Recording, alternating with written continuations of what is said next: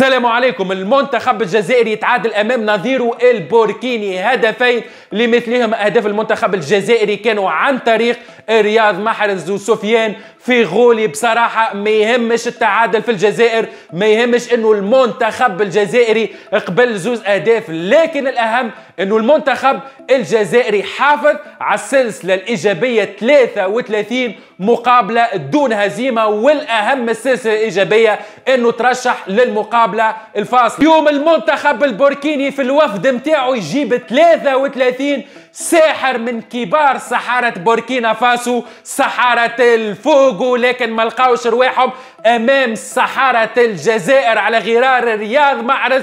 يوسف البليلي وكبير السحرة جمال بالماضي. صراحة ربي معاكم الإخوة الجزائريين. تونسي وقلبي معاكم لكن اليوم كان ضغط كبير في المقابلة. اليوم ما عادش نجم نتفرج في المقابلة. فما بالك الإخوة الجزائريين كيف عداوا الدقائق الأخيرة متاع المقابلة اليوم؟ كيف كيف الجمهور 14 ألف في ملعب شاكر بصراحة قدموا الإضافة المعنوية للملعبية اليوم الخضر اليوم أبناء جمال بالماضي قاموا بالمهم وهو التعادل ضد المنتخب البوركيني لكن مازال الأهم وهي المقابلة الفاصلة اللي باش ترشح الكأس العالم قطر 2022 شيق ولا أروع من جمال بالماضي غير بغداد بنجاح بسفيان في غولي اللي سجل الهدف الثاني وهدف الاطمئنان للخضر ولهنا برافو جمال بالماضي اللي ما عندكش اسم كبير في المنتخب. وما ثم حتى لاعب يكبر في المنتخب ماكش في نهارك ماكش تقدم في الإضافة تتك على جنب ونحط شكون في بلاستيك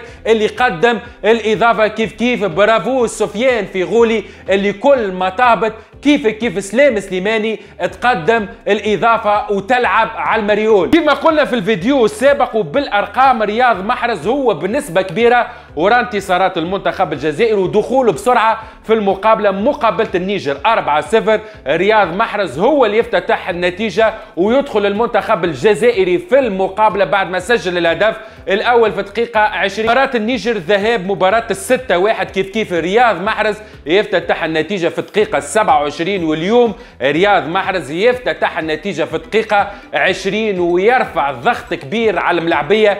كان مسلط عليهم رغم عودة المنتخب البوركيني في النتيجة. شكون يتحمل مسؤولية هدف بوركينا فاسو البعض باش يشوفوا الهجمة من الآخر ويقول لك عيسى مندي هو اللي يتحمل مسؤولية الهدف هذا لكن مش صحيح. عيسى مندي قام بفور كبير قام بمجهود كبير باش يوقف الهجمة هذه لكن للأسف ما نجمش. لكن لو كان نجيو نشوفوا مع بعضنا لاكسيون كيف بدات من الأول قلنا وقت اللي تلعب ضد منتخب قوي بدنيا وفنيا باش تقلل من الخطورة نتاعو ويلزم للتروا لين يكونوا قراب لبعضهم. الدفاع وسط الميدان والهجوم باش تضيق عليه المساحات. لكن هذا الكل ما صارش. نشوفوا مع بعضنا مهاجم المنتخب البوركيني كيف يرجع التالي ويقف بين خط وسط الميدان وخط الدفاع ياخذ الكرة ويدور بها على راحته من غير أي مضايقة من أي لاعب من المنتخب الجزائري. ولهنا كان على المدافع بالعمري باش يطلع معاه ويحصر اللاعب وتكون بيناتهم محاصرة لصيق هذا الخطأ الأول. الخطأ الثاني نشاهدوا مع بعضنا. المهاجم اللي سجل الهدف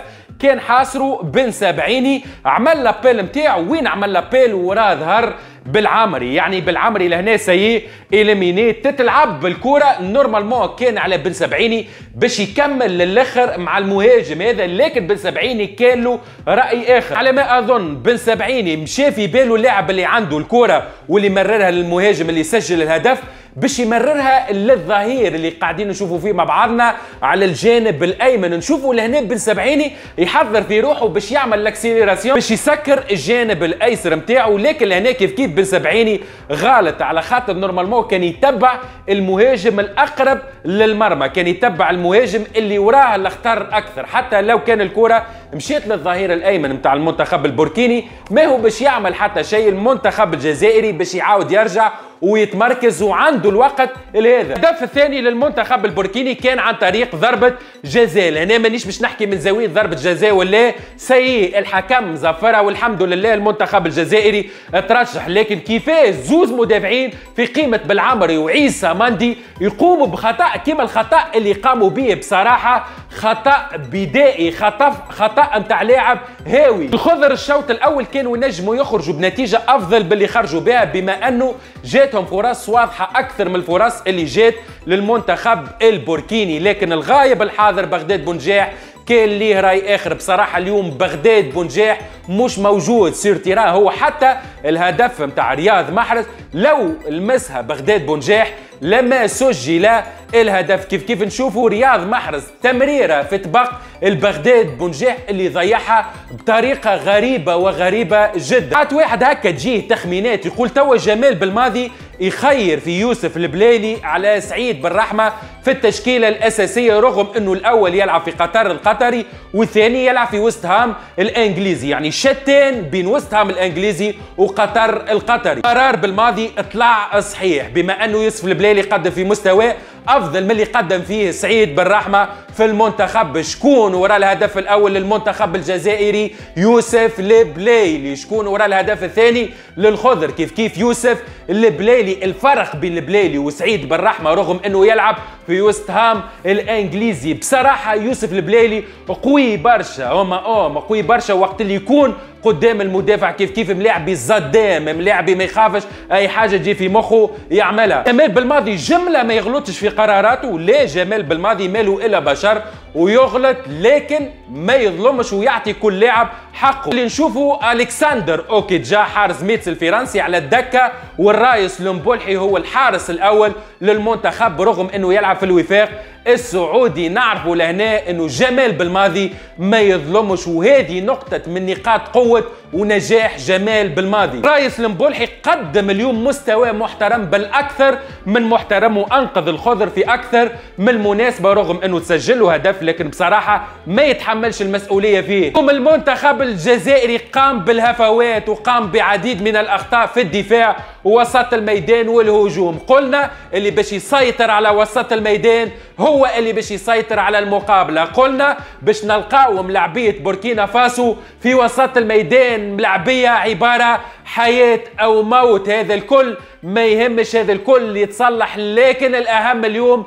إنه المنتخب الجزائري يترشح للمقابلة الفاصلة. حظ موفق للمنتخب الجزائري في المقابلة الفاصلة. حظ موفق للمنتخب المغربي. كيف كيف حظ موفق للمنتخب المصري بعد شوية؟ بإذن الله المنتخب التونسي باش يلعب ضد المنتخب الزامبي إن شاء الله. الانتصار ويلحق بخيانه ونلقاو الأربعة منتخبات هذوما في المقابله الفاصلة. وعلاش لا ما نلقاوهمش في كأس العالم قطر 2022 موافق للمنتخب الجزائري المغربي المصري التونسي في كأس العرب في كأس إفريقيا كامرون 2022 وخاصة في كأس العالم قطر 2022 وفي الختام البياري يقول لكم سلام.